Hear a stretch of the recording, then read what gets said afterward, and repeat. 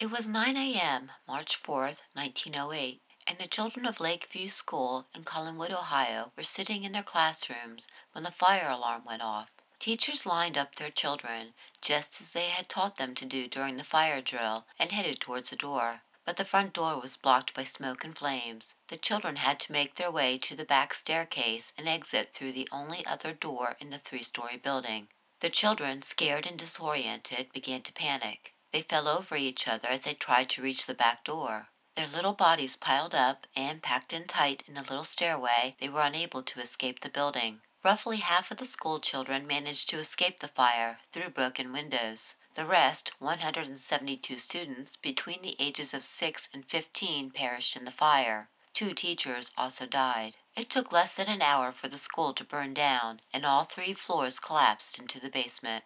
Initial reports about the school fire explored the possibility of arson, but there is no evidence that someone maliciously started the fire. A story was published that several children were seen playing near the area where the fire was believed to have started. It could have been an accidental fire, or maybe the children were smoking cigarettes, but that too seemed unlikely. The janitor, Fred Herder, was also initially blamed for not getting all the children out of the building, but he too suffered a loss in the fire. He recounted, I was sweeping in the basement when I looked up and saw a wisp of smoke curling out from beneath the front stairway. I ran to the fire alarm and pulled the gong that sounded throughout the building. Then I ran first to the front and then to the rear doors. I can't remember what happened next, except that I saw flames shooting all about, and the little children running down through them screaming. Some fell at the rear entrance and others stumbled over them. I saw my little Helen among them. I tried to pull her out, but the flames drove me back, and I had to leave my little child to die.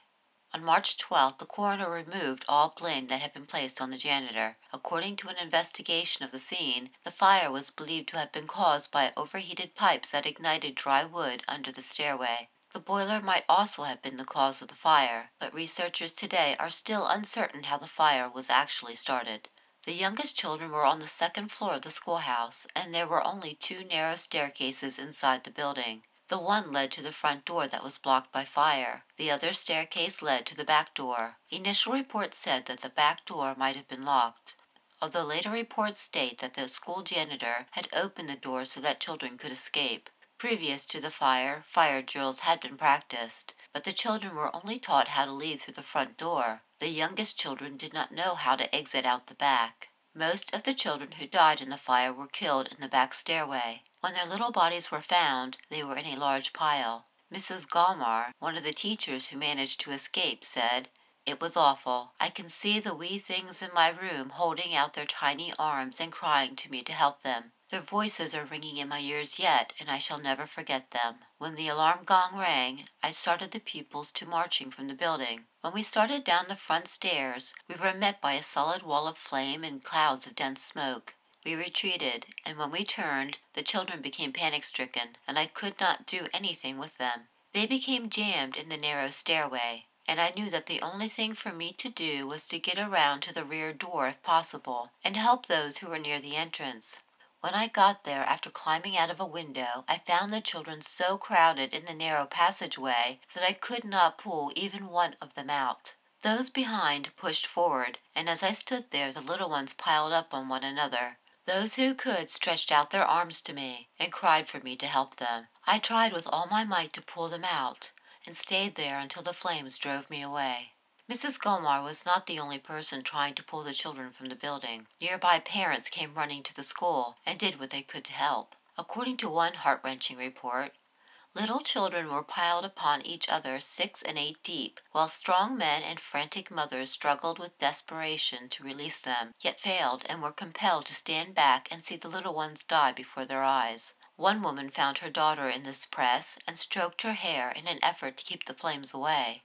She failed, and the child was burned to death while her mother looked on.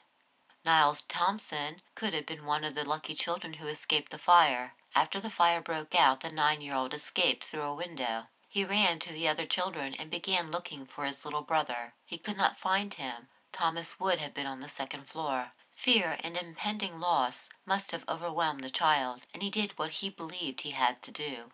Niles ran back into the burning building, determined to find his little brother but he never returned. Both Niles and Thomas were lost forever. Firemen and railroad employees took on the task of removing the dead from the basement. As each body was taken from the ruins of the school, it was placed in the makeshift morgue. The bare building was a railroad shop, donated for use by the railroad company, and it was the only place that could hold the initial 162 bodies that were removed within the first five hours after the fire. One article reported the gruesome task of taking out the torsos and bits of human remains was one of horror. A line of rescuers was formed, backed by half a dozen ambulances. As the bodies were untangled from the debris, they were passed along to the stretchers and then loaded in the ambulances. Mercifully covered with blankets, the pitiful sights were veiled from the crowd of curious people gathered about the entrance to the structure. As fast as a load was obtained, it was driven away to the improvised morgue. The children were laid out in rows as the parents gathered outside the building. After the final child was laid in place, attendants opened the doors and accompanied the parents as they walked among the little bodies on the floor. Men and women sobbed as they identified their children. Some of the children were so badly burned that no one could identify them. Newspaper reporters wrote that parents could be heard sobbing inside their homes over the lost children. Even the parents whose children made it out alive fell victim to the sadness of so much loss. One mother walked the aisles of charred bodies looking for her missing daughter, little Rosetta. Those who still had recognizable facial features were unfamiliar to her, and she was forced to look at the bodies of those who were badly charred. One by one she examined them, looking for something that might identify her daughter. And then she saw it. Her daughter's shoes were the only recognizable item on her child. She threw herself down upon the little form and wept.